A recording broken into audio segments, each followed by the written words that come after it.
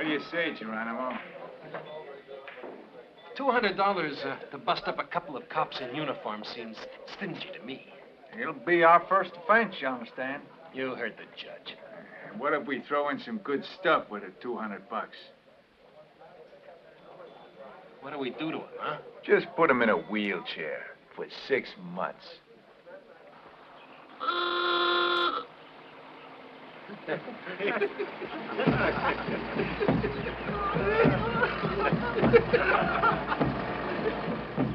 He's on the warpath.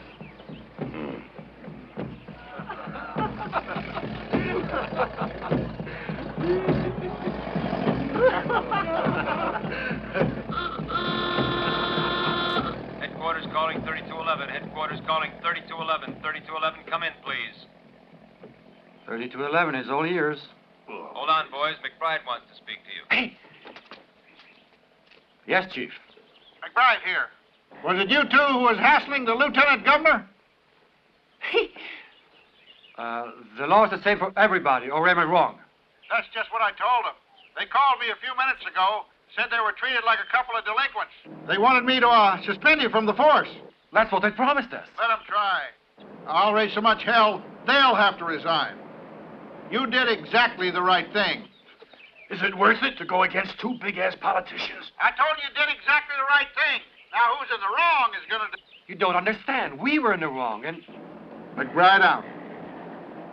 You and your great ideas.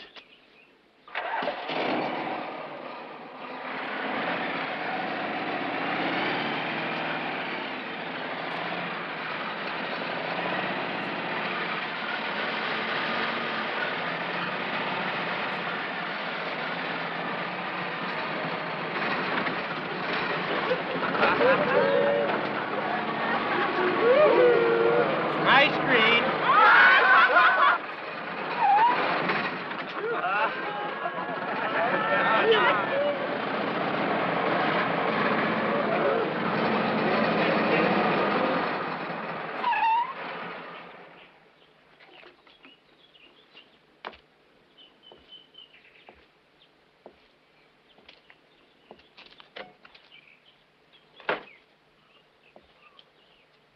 I only have vanilla left.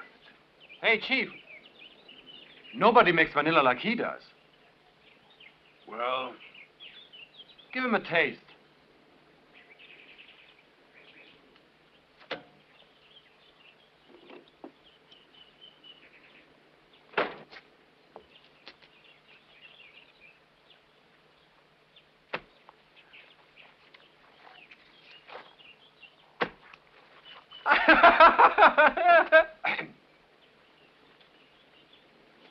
you like it? It's easy for you, copper. You take advantage of your uniform. Okay. Four o'clock, parking lot, Orange Bowl.